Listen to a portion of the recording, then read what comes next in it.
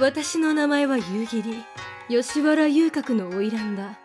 花魁とは最高位の遊女のことで現代の高級娼婦や高級愛人などにあたる。その言語は妹分たちがおいらのところの姉さんと呼んだことに由来するらしい。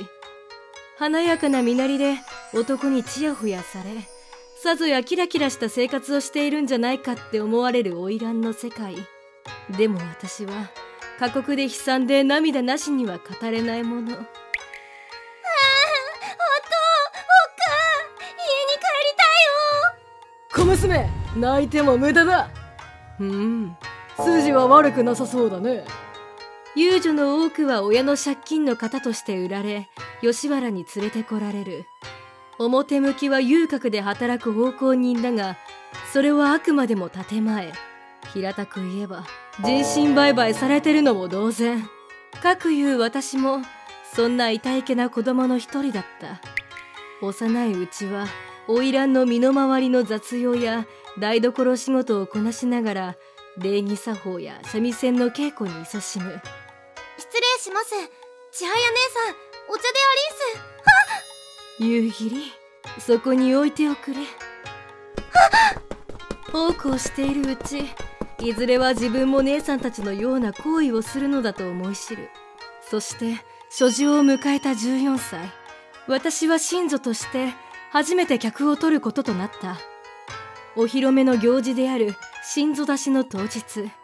新調した着物を着た私は顔見せをしながら各所に挨拶回りをした。夕霧の水揚げには馴染みの太客を世話してあるからね。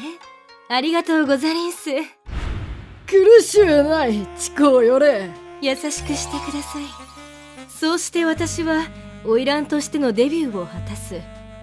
特別な自由恋愛の場である遊郭。その一日は長く花魁の生活は壮絶を極める。また私を示してください。ああ考えておくよ。花魁の一日は朝帰りする夜店客の見送りから始まるのが日課なおここではいかに名残惜しく別れるのかがミソとなる。疑似恋愛なんてさせてなんぼだからね。さてとしばし仮眠しよっと。客を見送ったら待ちに待った二度寝タイム。一晩中客の相手をし不眠不休で疲労困憊の花魁は隙間時間を最大限休息に充てる。じゃなきゃ体が持たない。午前10時頃次々と起きてきた花魁たちは朝風呂や朝食を済ませ化粧をしたり髪を結ってもらったりする。やだ目の下にクマ不健康に見えると客受け悪いんだよね。動乱は厚めに塗ってちょうだい。わかりました。昼店が始まる正午頃では束の間の自由時間が与えられる。とはいえ遊郭から出ることはできないので三味線などの稽古ごとに励んだり読書したり客への手紙を書いたりして過ごすしかない。結局エンドレス自分磨きするしかない現実。ああ自由ってなんだよ。正午から午後4時頃まで花町は昼店の時間を迎える。高級遊女を除いた遊女たちは通りに面した格子越しに客が品定めする張り店に出なければならない。きつすぎ。でも顔売れるかもだし。なお昼店客の多くが地方から江戸に来ている初版の金番武士。門限が午後6時で夜遊びはできないから昼に遊びに来るってのはいいんだけど。金番武士は金払いが悪い上祝儀もくれない奴らが多い。そのくせ威張って要求が多いってんだからふざけんなっつうの。そのため遊女からは嫌われる存在で塩体温がデフォ。センスのない田舎者を相手に体力使うとかもったいない。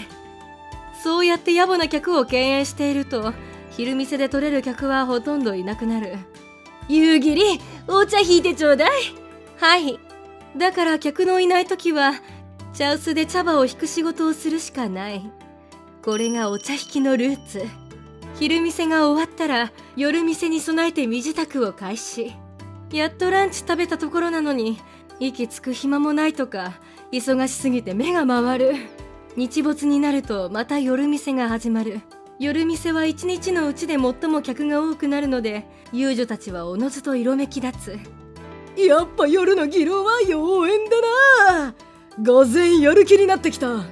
旦那衆私と遊んでいかない？うほべっぴん発見。新米のオイラはコスパ抜群だもんな。買った。ではお二階へ客一気に2人取れた？そうして夜店の客を朝まで接待する床入りを終えても翌朝の別れまで花魁の仕事は終わらない。労働時間長すぎ。てかこれ普通に考えてザ・ブラック企業じゃん。衣食住は保証されているが食事は質素な一汁一菜のみ。借金がある身なのに必要なものはまた借金して手に入れなければならない。美味しいものを食べたければ客から取りな。うん。経費削減しすぎ。それに花魁の休日は正月と盆の年に2回だけ。でも自由に大門を出るには通行証を買う必要がある。外出時にはやり手や若い衆が付き添う上お金もかかるので事実上遊客から出ることは難しい。もうこれ以上借金増えたら年季が伸びちゃう。この年季と呼ばれるルーティンが27歳になるまで約10年以上続く。年季明けが遠のいてしまう花魁もいれば年季までに病気や心労や中絶の失敗などで亡くなる者もいる。梅毒にかかっちゃった。夕霧もようやく一人前になったね。これで妊娠しにくくなるよ。床上手になった私は来る日も来る日もひっきりなしに客がついた。が一日に何人もの客を相手にするので肉体的消耗が半端じゃない。感じたふりしなきゃ身が持たない。全部演技。そういや昔姉さんも言ってたっけ。だけどもう限界。27歳までに生きて吉原を出る唯一の方法は客に自分を買い取ってもらう身請けしかない。だがその平均費用は3500万円から1億円。なのでほんの一握りの限られた花魁だけのステータス。そんな大金一般人に出せるわけない。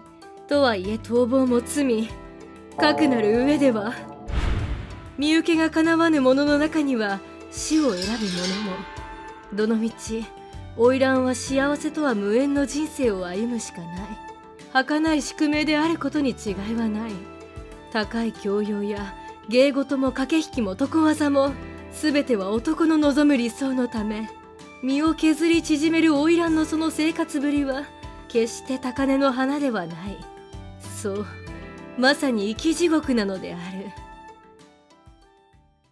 最後までご覧いただきありがとうございました。このチャンネルでは世界中の闇の出来事をテーマに動画にしています。毎週土曜20時に動画を投稿しているのでチャンネル登録グッドボタンよろしくお願いします。他の動画もぜひ。